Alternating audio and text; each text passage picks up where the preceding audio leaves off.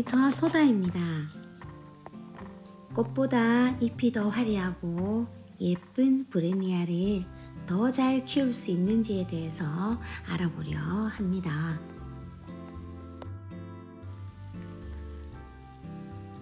브레니아는요, 빛을 좋아해서 햇빛을 잘 받으면 초록초록한 잎들이 하얗게 물이 들어 초록과 화이트의 조화가 마치 수채화를 뿌려놓은 듯 아름다운 식물이기도 합니다.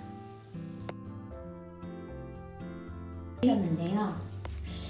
이 화려한 이 꽃잎에 비해서 꽃은 초록으로 이 사이에 이렇게 꽃이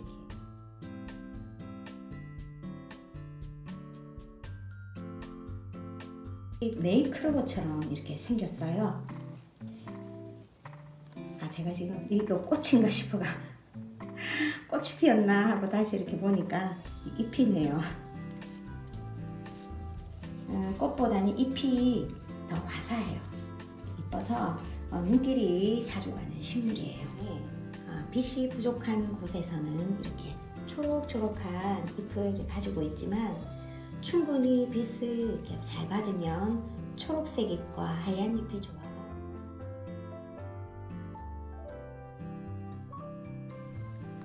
물을 좋아하는 식물이지만 과습으로 뿌리가 무를 수 있으니 물 빠짐을 좋게 해서 분갈이 하는 것도 하나의 방법이기도 합니다.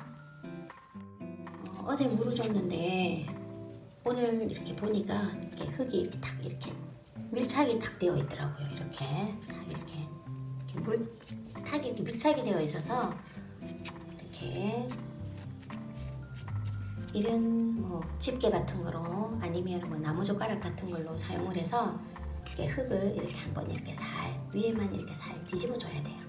이렇게 뒤집어 주면 흙이 이렇게 빨리 이렇게 보통 때보다 빨리 말라서 과습이 과습에서 조금 해방이 되는 것 같더라고요.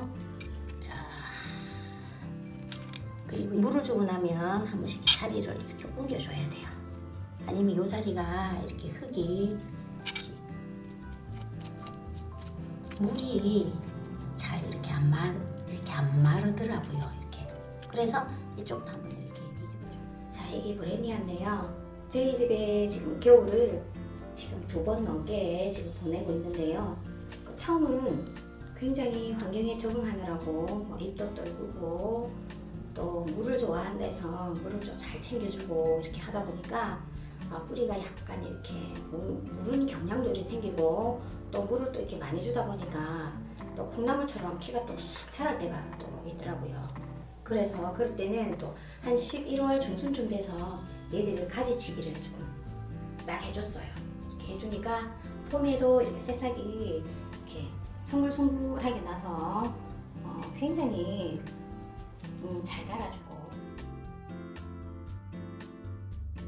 어, 입꼬지한 얘들은 이제 좀 더 커서 이제 모회목들을 하든지 일단은 더 커봐야 이제 알 수 있는 것 같아서 지금 얘 아이만 얘만 지금 외국대로 이렇게 어, 키울 준비를 하고 있습니다. 어, 잎이 이렇게 얇은 이런 식물들은 뿌리도 이렇게 많지가 않더라고요. 뿌리도 이렇게 잔뿌리가 많아야 물을 이렇게 흡수하는 이 용량이 많이 생기는데 통풍이 물론 중요하겠죠. 통풍도 중요하고 그리고 빛을 많이 봐야 되고 베란다건 실내건 데려오고 나서 1년 정도만 환경에 적응을 잘하면 어, 무난하게 잘 커주는 음, 예쁜 식물이라 합니다.